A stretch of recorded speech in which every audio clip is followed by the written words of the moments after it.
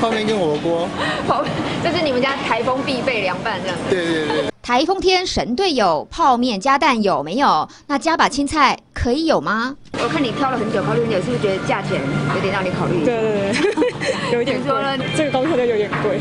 买什么好？妈妈走来走去，不想跟钱包过不去。因为传统市场休市，大卖场架上的促销青菜呢，星期天晚上又被扫空，剩下相对贵的有机蔬菜，让妈妈有点买不下手。马铃薯啦，红萝卜啊，哈，哦，便于换菜色啦，不一定要全部叶菜的。台风米塔前脚还没到，青菜有没有先长起来等呢？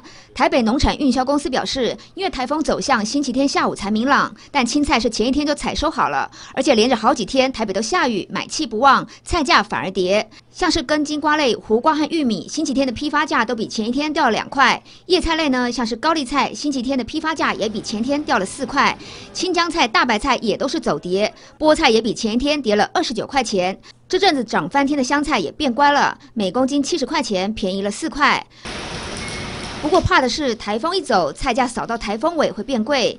台北农产运销公司表示，青菜的大本营在南投、嘉义、云林、彰化。如果这一回大雨最后扫过的是北部、东北部，米塔不会让青菜趴下，婆婆妈妈们也就不会七上八下。